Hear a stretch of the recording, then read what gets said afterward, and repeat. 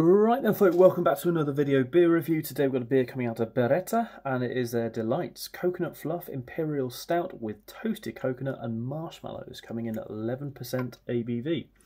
Now, can't really remember where this one came from, whether it was a, a Dave Ale or um, if it came from Trembling Madness, which I think it might have done. Um, but yeah, 11%. Just sounds like right up my street. Coconut, marshmallows, Imperial Stout. 11%, 330ml can. It sounds the sort of thing I'd buy. Um, sweet, creamy, rich and delicious, it says. Um, oh, there's no ingredients in English. Let's try and translate this the best we can. Something of cocoa, um, maltodextrin. Uh, there's a lot of other things. I know. Um, are you, are you now going to try and translate it? Yeah. Google Translate. Ah, ingredients are water, barley malt, oat malt, hemp, maltodextrin, wa- uh, water, yeast, coconut flour, marginals, um, consume responsibly. What's this next bit say? Which bit? Uh, this bit down. Just non-returnable. Manufactured and bottled by Bereta. There we go. That's actually surprisingly good. What is detect language? I'm guessing.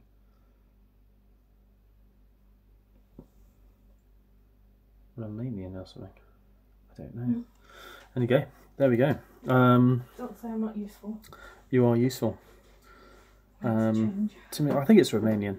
Bereta's Romanian, I think. I. Have that. Yeah, it, I'm just reading it and it, and it looks Romanian. Um, anyway, there we go. There we go. Let's crack this one open. Use the Brookhouse glass.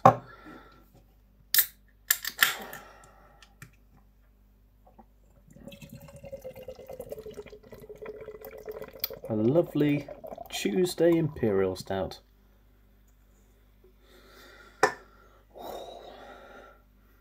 That smells good. Smells good. There we go. Lovely looking beer. Single finger kind of tan, almost light brown coloured head, and then um, dark dark brown actual beer. Spritzy head on it for sure, which is mas- masking a little bit of the um, um, nose you get get on it but it is coconut, dark chocolate, coffee. There's a slight kind of herbal touch to it, which I'm beneath that is is very much marsh, marshmallowy sort of notes. I just hope that the carbonation on this isn't too high because when you get a a kind of real spritzy kind of look on it like that, I always worry that it's not going to be it's going to be a bit spritzy. It's not going to be as thick and creamy as you really want.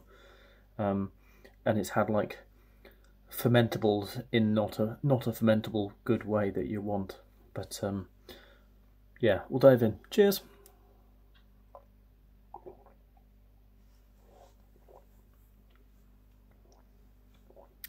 Thankfully, everything is working perfectly.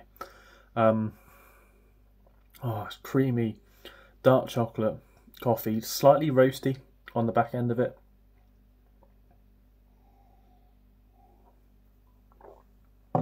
It is very heavily coconut, which I suppose is kind of what you want.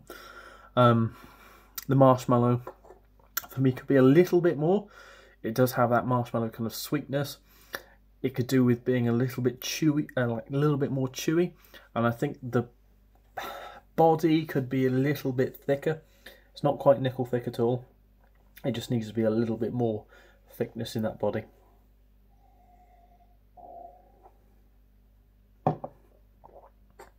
That said, it's bloody good.